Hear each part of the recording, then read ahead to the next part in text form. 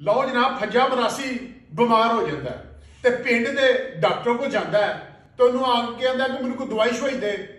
Doctor ਦਵਾਈ ਦਿੰਦਾ ਹੈ ਤੇ ਪੈਸੇ ਵਾਵਾ ਸਾਰੇ ਮੰਗ ਲੈਂਦਾ ਹੈ। ਤੇ ਮਰਾਸੀ ਕਹਿੰਦਾ ਮਾੜਾ ਬੰਦਾ ਵਾ, ਕੋਈ ਪੈਸੇ ਘੱਟ ਕਰੋ ਡਾਕਟਰ ਸਾਹਿਬ। ਤੇ ਉਹ ਆਂਦਾ, ਨਹੀਂ, ਪੈਸੇ ਨਹੀਂ ਘੱਟ ਹੋਣੇ ਫੱਜਿਆ। ਖੈਰ ਮਰਾਸੀ ਸੀ, ਉਹ ਆਂਦਾ, ਚੱਲ ਤੇਰਾ ਕਰ ਲੈਣਾ ਮੈਂ ਡਾਕਟਰ ਬੰਦੋਬਸਤ।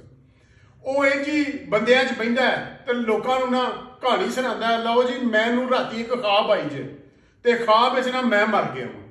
ਮੈਂ ਮਰ ਗਿਆ ਵਾਂ ਤੇ ਮੈਂ ਜੀ ਉੱਤੇ ਜਾ ਕੇ ਵੇਖਦਾ ਵਾਂ ਤੇ ਮੈਂ ਗੁਨਾਹਗਾਰ ਬੰਦਾ, ਨੇਕ ਤੇ ਕੰਮ ਕੀਤਾ ਹੀ ਕੋਈ ਨਹੀਂ ਸੀ। ਤੇ ਮੈਂ ਦੋਜ਼ਖ ਵਾਲੀ ਲਿਸਟ ਵੇਖੀ ਤੇ ਮੈਂ ਵੇਖਿਆ ਕਿ ਦੋਜ਼ਖ ਵਾਲੀ ਲਿਸਟ 'ਚ ਮੇਰਾ ਨਾਂ ਹੀ ਕੋਈ ਨਾ।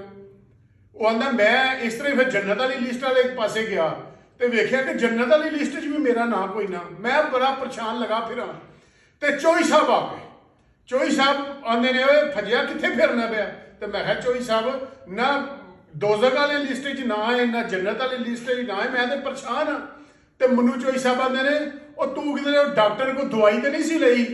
ਉਹ ਫੱਜਾ ਕਹਿੰਦਾ ਬਿਲਕੁਲ ਨਹੀਂ ਚੋਈ ਸਾਹਿਬ, ਮੈਂ ਉਸੇ ਡਾਕਟਰ ਕੋਲ ਦਵਾਈ ਲਈ ਸੀ। ਉਹ ਆਂਦਾ, ਖੁਦਾ ਲਿਆ ਬੰਦਿਆ ਉਹਦੇ ਬੰਦੇ ਨੂੰ 4 ਸਾਲ ਪਹਿਲਾਂ ਹੀ ਮਾਰ ਛੱਡਦਾ ਬੰਦੇ ਦੇ ਮੌਤ ਦਾ ਟਾਈਮ ਤੇ ਹਲਾ ਆਇਆ ਹੀ ਨਹੀਂ ਹੁੰਦਾ।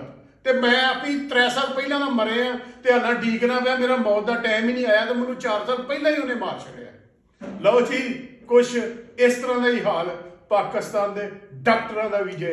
ਇਹਨਾਂ ਦੇ ਹੱਥੇ ਜਿਹੜਾ ਬੰਦਾ ਚੜ ਗਿਆ ਨਾ, ਉਹਨੇ ਕੋਈ 4 ਸਾਲ ਬਾਅਦ ਵੀ ਮਰਨਾ ਨਾ, ਤੇ ਇਹ ਜਨਾਬ ਇੱਕ ਤਾਂ ਉਹਨੂੰ ਮਾਲੀ ਤੌਰ ਤੇ ਫੁਕਰਾ ਕਰ ਛੱਡਦੇ ਨੇ, ਤੇ ਦੂਜੇ ਉਹ ਜਾਨ ਤੋਂ ਵੀ ਮਰੀ ਜਾਂਦਾ ਰਹਿੰਦਾ।